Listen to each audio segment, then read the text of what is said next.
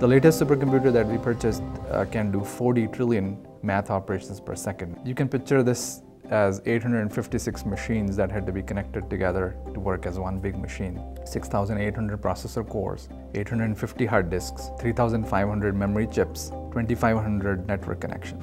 And each of these cable is carrying 20 gigabits per second.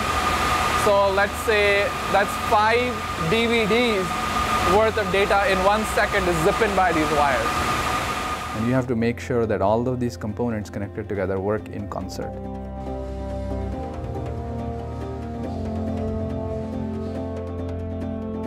I work on uh, data acquisition and control systems. I work on the, the hardware, software, and firmware for these systems. When the particles hit and they explode, they need to detect all these pieces that are flying out and where they're going and try to make tracks of where the particles are going. It's a 3D uh, software using OpenGL and helps us visualize where the data is and where the tracks are, uh, where the particles actually pass through our planes. It's kind of fulfilling to see something come from scratch where it's just from your imagination and it's actually turning into a complete project.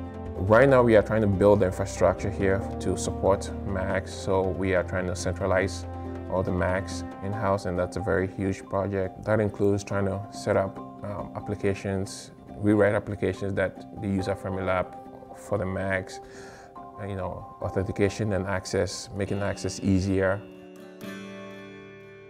This site is huge. And the things that are available for you to do, there's a whole lot. Research done at Fermilab is of a collaborative nature where people from different national origins and cultures work together for a common goal.